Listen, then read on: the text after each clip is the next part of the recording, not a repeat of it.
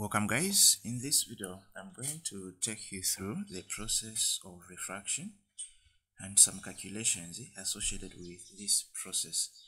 So refraction can be seen as the bending of light after moving from one medium into another medium eh, having different densities. So let's maybe come up with a picture so that we understand fully. So I'm going to use two media. So one will be air then the other one will be a glass. We know that the density of a glass is greater than that of air because the particles in a glass are closely packed compared to the particles of air. So I'm going first to begin by drawing a vertical line which is in dotted this line is called the normal ray so always make sure it is in dotted if in case you are dot to draw one. So this is our normal ray and it's perpendicular to the surface which means that an angle of 90 here is made and also here is made. Or we can say it divides the angle of 180 which is the straight line into two angles. Now after doing that let's show the incident ray so the incident ray is the ray of light striking a medium and we can tell by looking at the arrow. So whenever you see the arrow showing you that the ray of light is striking a medium, just remember that this is an incident ray. Now, as you can see, we have an angle between the incident ray and the normal ray which is denoted by small letter i. So this is called the angle of incidence so the difference between the two is that the ray is the uh, uh, the incident but the angle is incidence now in terms of the bending are we expecting to have the bending of away from the normal ray or toward the the normal ray so what you have to put in, into consideration is if the light is going into more denser or less denser. Now, since it's coming from air, which is less denser, into a glass, which is more denser, the bending will be that toward D, the normal. So we are expecting to have this kind of bending. So remember, when light moves from a lesser into a more denser, it is going to bend toward the normal. So we can see that it's coming toward the normal. So this ray is called refracted ray. Now the angle formed between the normal and the refracted ray is called the angle of refraction. Now what happens upon leaving the glass going back into its original medium. So here i'm going to draw another normal ray but for this one we are going to consider it as light moving from a more denser into a less denser. So this time the ray of light will move in the same direction as it started. So as you can see we have the same direction. Now this uh, ray of light coming out of this medium of a glass is called the emergent ray. So now, uh, for simple explanation, the angle of refraction will become the angle of incidence for the second refraction. So therefore, if there is an angle of 30, even here we are going to have angle of 30. Now let's look at uh, the refractive index for air. So the refractive index for air is about 1, excuse me. Then the refractive index of a glass is about 1.5. Then air we have 1. So we can say that whenever light moves from an uh, of a refractive index of 1 into any number greater than 1 we are expected to have the bending of toward the normal ray so this is what we can eh, look at uh, this point. Then eh, the other thing if you look at the angle the relationship between the angle of incidence is greater than the angle of refraction. When light moves into a more denser medium then the reverse is also true. If light moves into a less denser medium. We can see that this angle is greater than this angle. Then for the first one this angle is greater than uh, that angle. So that is what you need to know. Now away from there let's look at what we call the refractive index. So the refractive index in physics is denoted by small letter n. And refractive index can be defined as a measure of the speed of light for a particular medium. Or we can define this one as the ratio of the sine of the angle of incident incidence to the sine of the angle of refraction. Now the first formula to calculate the refractive index is where we can say refractive index is equal to c the speed of light in a vacuum divided by the speed of light for a particular medium now the speed of light in a vacuum is 3 times 10 raised to the power 8 meters per second. So this formula can also be written as 3 multiplied by 10 raised to the power 8 meters per second over v, which means that the speed of light in a vacuum is constant. It's given. You just have to commit this number uh, to memory. So let's say we want to have an example, right? So let's say, how can we calculate uh, let's say speed of light in water so for you to find this you need to find the refractive index of water so let's look at uh, the refractive index of pure water so for pure water is about 1.33 so if this is the speed of light for pure water then I'm going to substitute where there is any we can put 1.33 now if you look at this formula, so to make V the subject of formula, to find the speed of light for a particular medium is equal to C divided by N, or the speed of light in vacuum divided by its refractive index for that medium.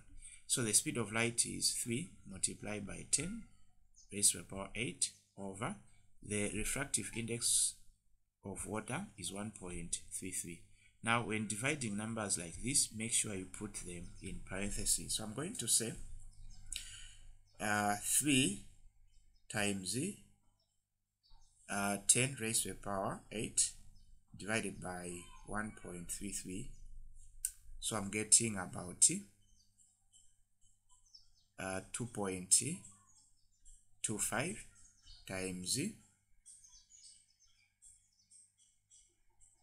times 10 raised to the power 8 meters per second. So if we are to compare, we can see that the speed of light in a vacuum is greater than the speed of light in a glass or light travel faster in a vacuum compared to a medium like a glass, water and the reason is because in water the particles are closer, are closely packed compared to the arrangement of particles in air. Now, what happens to, let's look at uh, in terms of velocity and wavelength. So, when the refractive index increases, the velocity would decrease, the speed would decrease, we have seen by calculations. Then what of the wavelength? The wavelength also will decrease which is the same as it will go down. Let's say we have an example like this one. So let's say the wavelength of light in air is 500 nanometers. How can we find the wavelength in a glass so remember the refractive index of a glass normal glass is about 1.5 So to find the refractive index, I mean the wavelength for a particular medium, you use you need to use this formula. You can say wavelength of that medium is equal to you need to have wavelength of the actual medium which is vacuum in air divided by the refractive index for that medium which is we can say uh, wavelength for that medium is equal to the the wavelength for light in air is given as 500 nanometers divided by the refractive index which is 1.5 so let's look at the number that we're going to get. So i'm going to say uh, 500 divided by 1.5 so i'm getting 333.3 nanometers. So we can see by calculations that the wavelength has decreased because in air it was 500 but in a glass is about 333.3 now what of uh, frequency? So in terms of uh, frequency the frequency does not change. And if we want we can show by calculations. So to show by calculations we can use this formula. So i'm going to say c which is uh, the speed of light in a vacuum is, is equal to wavelength then multiply by uh, the frequency. So i'm going to find the frequency. Now the speed of light in a vacuum which is c is given by 3 times 10 raised to the power 8 meters per second.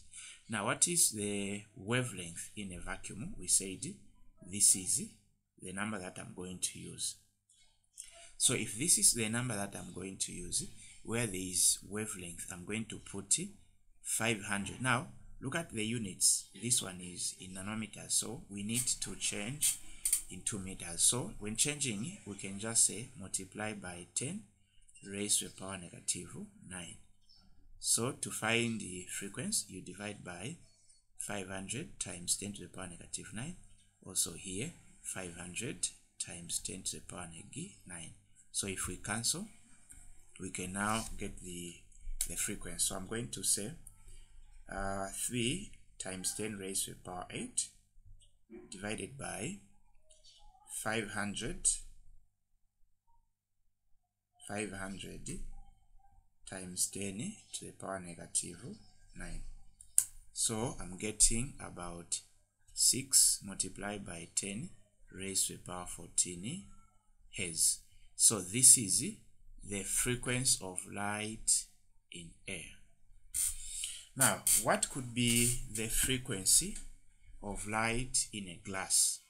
So to find the frequency of light in a glass you are going to use this formula where you need to say uh, velocity which is the speed of light in a vacuum is equal to uh, wavelength multiplied by frequency. Now to use this formula we need to find the, the speed the speed of light in a medium. So let's do that.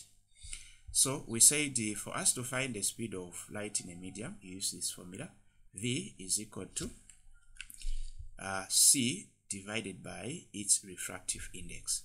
So v is equal to what's our c? Is 3 times 10 raised to the power 8 n we are going to use the, the refractive index of a glass which is 1.5 so divided by 1.5 so we can now let the calculator to do the work.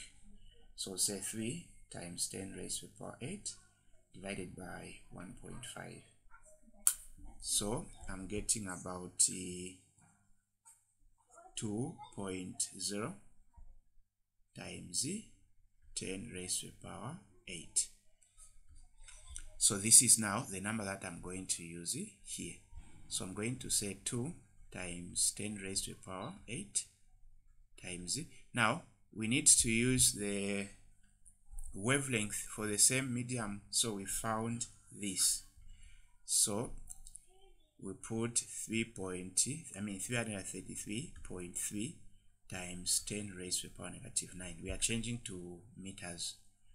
Then, so let's do some math here.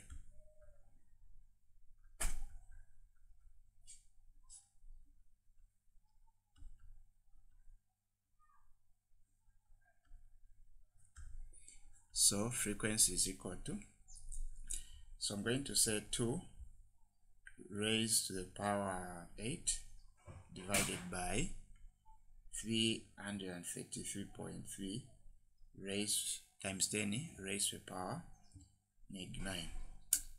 So according to my calculator, I'm getting the same answer.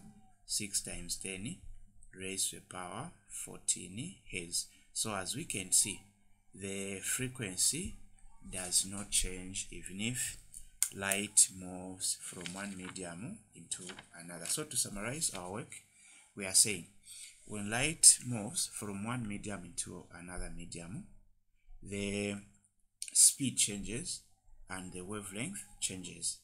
So whenever the refractive index increases, the speed decreases, the wavelength also de uh, decreases, but the frequency stays the same. Right, let's have uh, another example, but this time let's now use the Snell's law. So the Snell's law is what tells us the ratio of the angle of the sine of incidency to the sine of the angle of refraction, which is given by this formula. Refractive index is equal to sine i divided by sine r. So to understand fully, I'm going to come up with a simple diagram. So this is our simple diagram.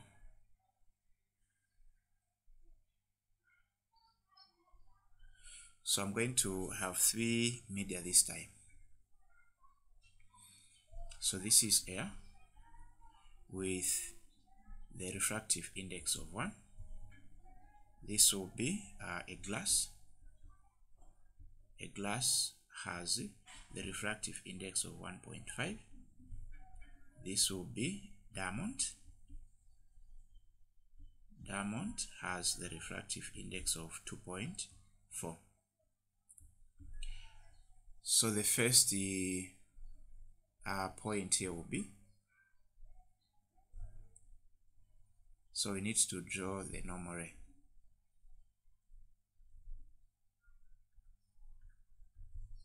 So we need to show the first party. So this is our first part here.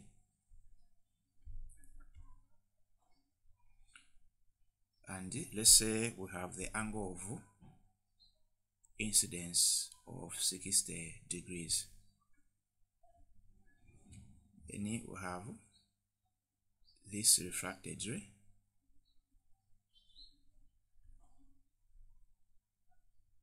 so upon moving from the glass into the diamond since the densities are different then we are expected to have another bending so as we can see this time now it will bend almost toward the normal ray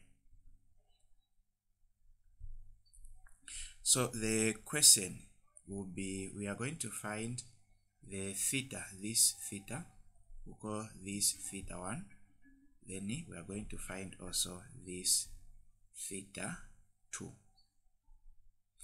So to find the theta 1, so this is the angle of refraction for the first refraction. So the first refraction is between air and the glass. So to find the, the angle of refraction, we are going to use this formula where we're going to say n is the angle of, uh, I mean the refractive index for the glass. So where there is n, I'm going to put 1.5 is equal to sine, what's the angle of incidence is 60, this number here, over sine r. So we have 1.5 sine r is equal to 1 times sine 60 is sine 60 we divide by 1.5 also 1.5 so sine r is equal to so sine 60 divided by 1.5 so I'm getting 0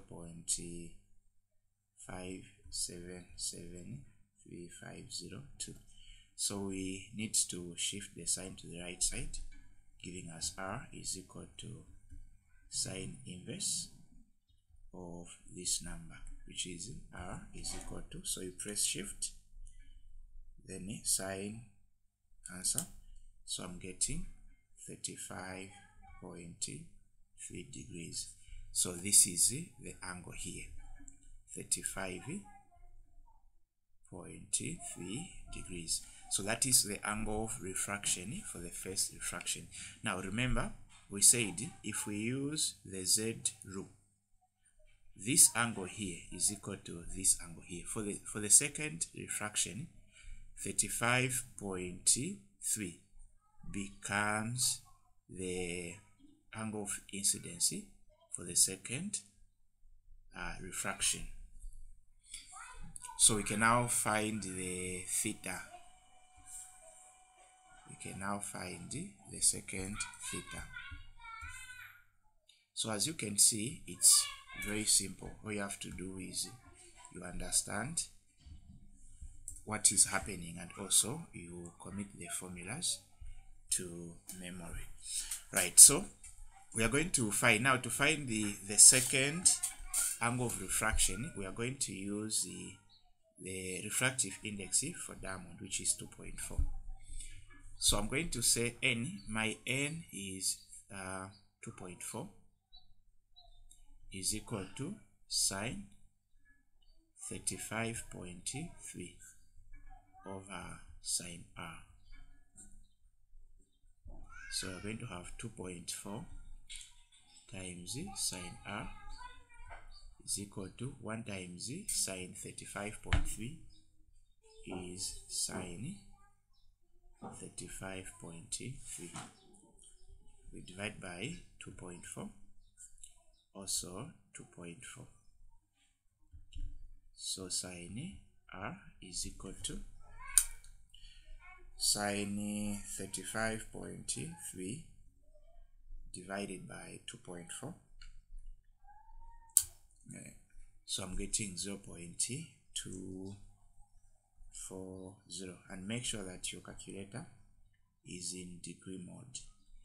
Then I'm going to shift my sign to the right side giving a r is equal to sine of inverse of these numbers.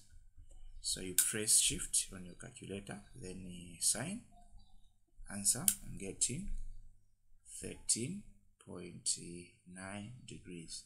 So this is the angle here. So uh, what can we deduce from the information that we are we have here? So we can uh, see that uh, the first one, uh, light was moving from a medium of refractive index of 1. The next, the medium was 1.5, then 2.4. So we can see that the refractive index is increasing from 1 to 1.5 up to 2.4. So as the refractive index is uh, increasing, the angle of refraction is decreasing. So at first, the angle of refraction gave us 35.3. The second, 19, I mean 13.9. So that is what we need to know about the Snell's law. Let's move on to the next. We can also find the, the refractive index using the real depth divided by the apparent depth.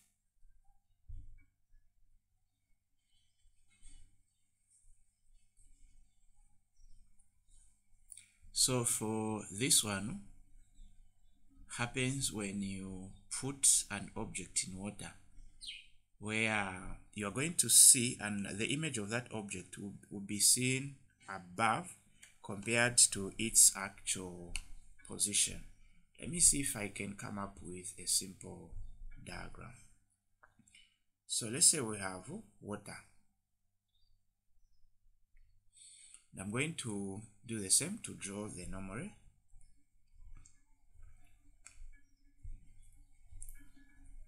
So let's say we have this is the actual image of a fish in water. Then the observer is somewhere here. So this is the observer.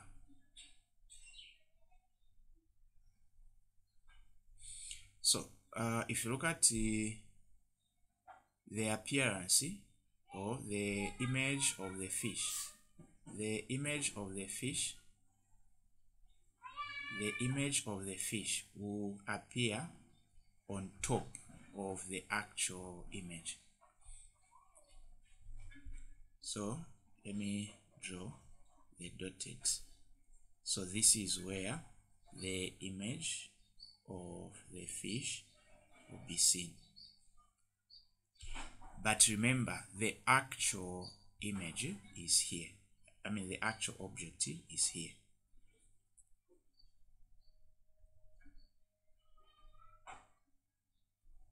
So this is our observer.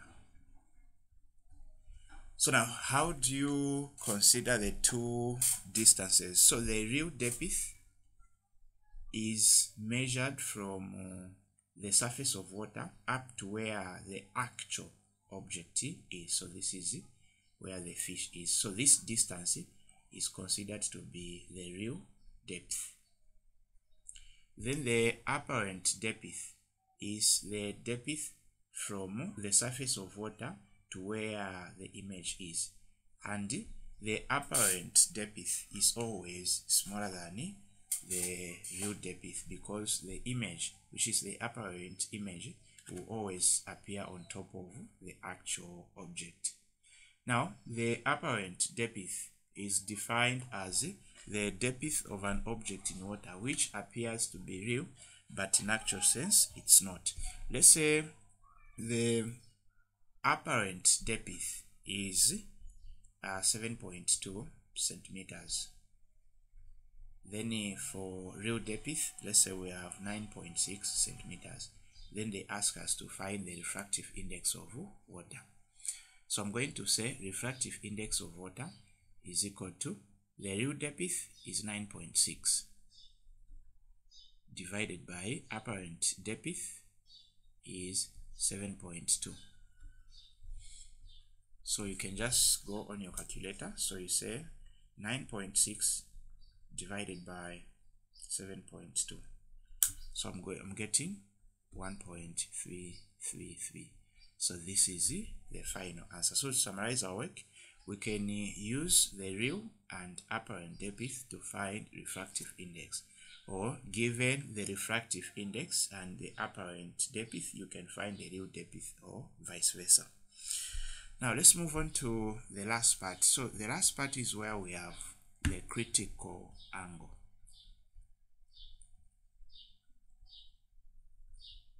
So when do we have the critical angle? So let's come up with a simple diagram. So this time, for, for us to have this observation, we are going to look at it when light is moving from a more denser into a less denser, which is, for example, we'll say this is water,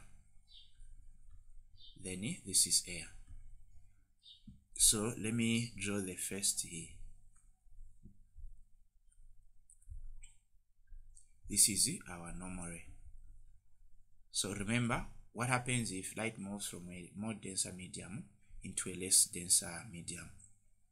So we are going to have the bending away from the normal. So this is the angle of incidence, then the angle of refraction.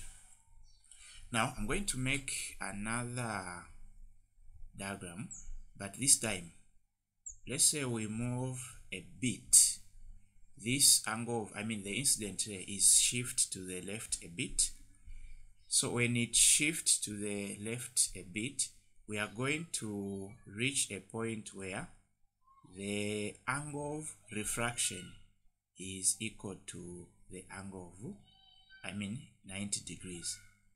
So let me try to use a different color.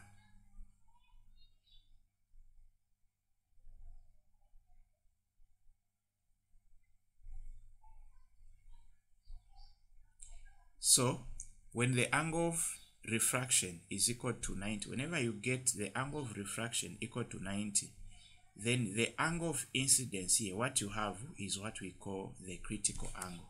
So the critical angle is formed when the angle of refraction is equal to 90 so that's when we we have that.